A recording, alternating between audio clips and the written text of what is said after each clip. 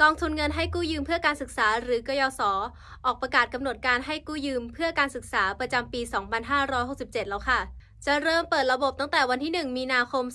2567 เป็นต้นไปค่ะสำหรับผู้ที่ยืมเงินกองทุนทั้งใหม่และเก่า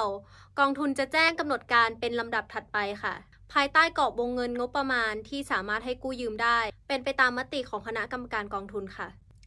ในส่วนของเอกสารที่ผู้ยืมต้องเตรียมนะคะ 1. แบบยืนยันการเบิกเงินกู้ยืมของแต่ละภาคเรียนค่ะ พร้อมเอกสารประกอบการยืนยันเบิกเงินกู้ยืมค่ะ 2. สำเนาบัตรประจำตัวประชาชนของผู้กู้ยืมค่ะ 3. หรือสุดท้ายค่ะ ก็คือสำเนาบัตรประจำตัวประชาชนของผู้แทนโดยชอบธรรมถ้ามีนะคะสำหรับการโอนเงินค่าเล่าเรียนกองทุนจะโอนเข้าบัญชีสถานศึกษา ภายหลังจากธนาคารตรวจสอบ แบบยืนยันการเบิกเงินกู้ยืม และเอกสารประกอบที่ลงนามถูกต้องครบถ้วนค่ะ โดยจะโอนให้ทุกวันที่ 5 15 และ 25 ของเดือนค่ะ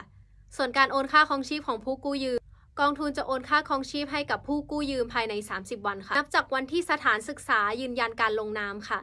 และสถานศึกษาต้องจัดส่งเอกสารของผู้กู้ยืมจำนวนเงินที่ถูกต้องและครบถ้วนให้ธนาคารโดยเร็วที่สุดค่ะ